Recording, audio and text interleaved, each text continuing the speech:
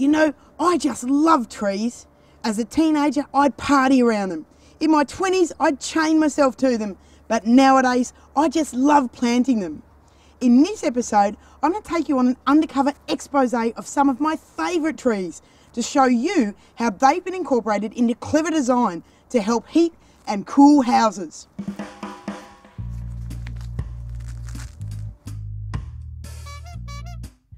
Trees provide valuable habitat for our precious native species. Plus, they can reduce greenhouse gas emissions by removing carbon from the atmosphere. As well as saving the planet, trees can also help you save money.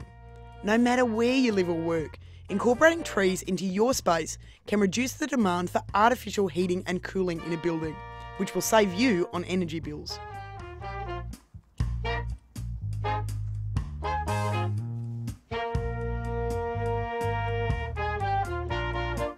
As a rule of thumb, think native, deciduous or edible, or all three. And before you pay a trip to your local sustainable nursery, make sure you check your local invasive plant list, just to ensure that you're not inadvertently planting a monster of a weed in your own backyard. Now, our first port of call.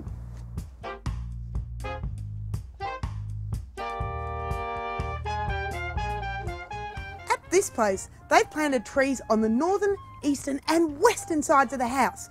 And in a couple of years, they've managed to reduce their household heating and cooling costs by around 20%. My neighbour here has planted trees on the northern side of the house, which is terrific because it reduces indoor temperatures by up to 6 to 12 degrees over summer. And it does that because it's shading the walls, windows, and the roof. And over here, you can see evergreen trees like this camellia and this eucalypt to shade the house. Now, evergreens work best when they're planted on the eastern or western sides of houses. But if you plant them on the northern side, just make sure they're going to get tall enough to allow light through over winter.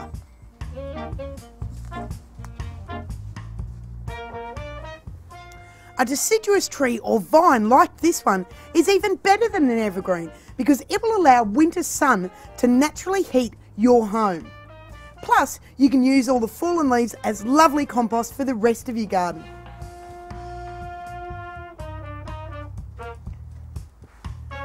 What my neighbour's done here is planted some deciduous trees that will get tall fairly close to the house. Now what that's going to do is shade both the walls and the roof, meaning the heating and cooling effect is maximised.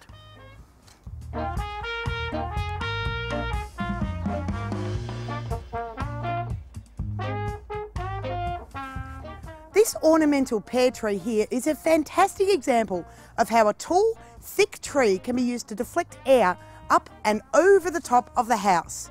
This can actually reduce your heating costs by up to 25%, which is a fantastic saving for your back pocket and the planet.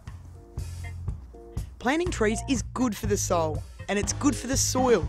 It provides it with great nutrients and once the tree is grown, it won't need much water.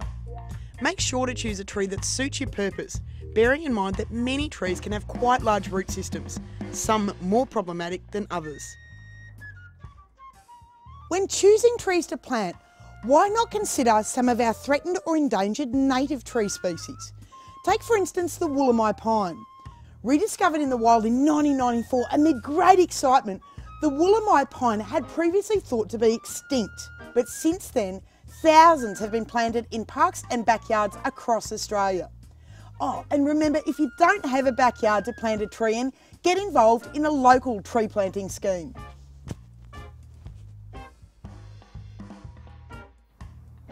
Whether it's driving to work or heating our homes, so much of our daily life depends on the unsustainable use of natural resources, things like fossil fuels.